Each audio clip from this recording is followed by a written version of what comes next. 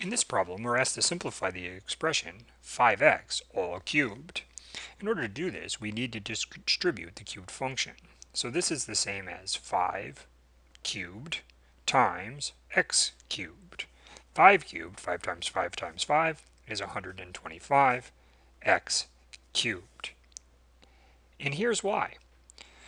If you were to do this, this is the same as 5x times 5x times 5x.